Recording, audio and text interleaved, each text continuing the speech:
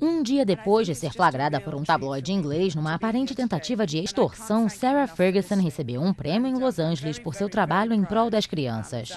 Um vídeo realizado com a ajuda de uma câmera escondida mostra a ex-nora da rainha da Inglaterra negociando com um jornalista disfarçado de um tabloide britânico acesso a seu ex-marido, o príncipe Andrew. Ferguson pede 700 mil dólares. Após o escândalo, Ferguson se disse apavorada pela sua falta de julgamento e pediu desculpas. A duquesa, que tentou ganhar a vida arranjando conferências com a família real, com campanhas publicitárias para o Vigilantes do Peso e escrevendo livros para crianças, está cheia de dívidas.